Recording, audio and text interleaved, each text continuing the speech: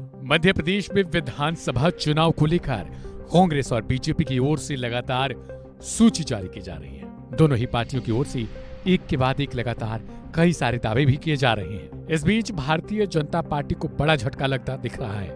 दरअसल, भारतीय जनता पार्टी के पूर्व मंत्री को हार्ट अटैक आया है, जिसके कारण उन्हें तत्काल निजी अस्पताल में भर्ती कराया गया। बता दें कि भारतीय जनता पार्टी से उन्हें उम्मीद थी कि पार्टी टिकट ज़रूर देगी। लेकिन ऐन वक्त पर मिला ही नहीं। इसके 24 घंटे के अंदर ही उन्हें दिल का दौरा पड़ गया।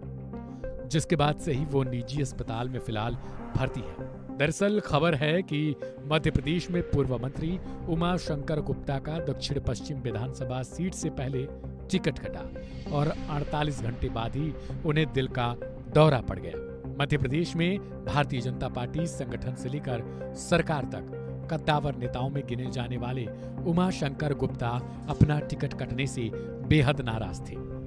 इसको लेकर उनके समर्थकों ने भारतीय जनता पार्टी के मुख्यालय में दक्षिण पश्चिम सीट से भगवान दास सबनानी को टिकट दिए जाने का विरोध भी किया था। गुप्ता भी इलाज के लिए भोपाल के एक निजी अस्पताल में भर्ती हैं और उनकी हालत फ़िलहाल खतरे से बाहर बताई जा रही है। बता दें कि उमा शंकर गुप्ता दक्षिण पश्चिम विधानसभा सीट से टिकट की दावेदारी कर रहे थे।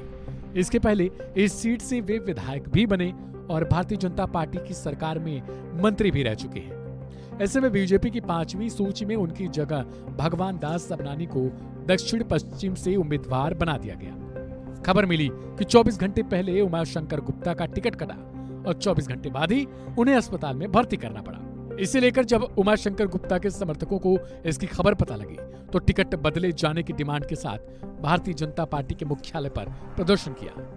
हालाँकि पार्टी ने अभी तक इस पर कोई एक्शन नहीं लिया और न ही कोई इस पर खबर सामने आई। लिहाजा देखना होगा कि क्या आगे पार्टी इस पर कोई विचार करती है या फिर नहीं।